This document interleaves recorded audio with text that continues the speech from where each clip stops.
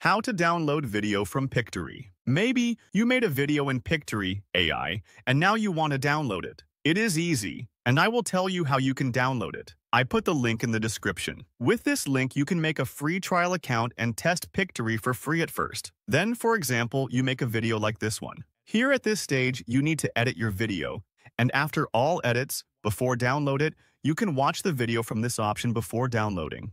And make sure everything is fine in your video because you have a limited number of downloads in each plan, and after each download, your credit will decrease. You can watch all the scenes in this video and all the edits you did.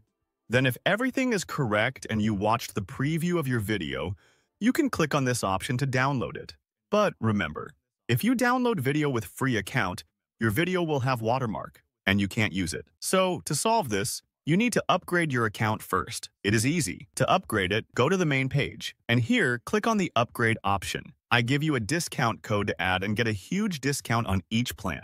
Choose the plan you want. For example, I choose this one. In the next stage, copy the code from description and paste it here, and then click on Apply. As you can see, this coupon code is working. Then you can click on this option to continue and add your payment information. After this level, you can easily download your video from the download option I showed to you earlier. Save this lifetime coupon code. You can share it with your friends too.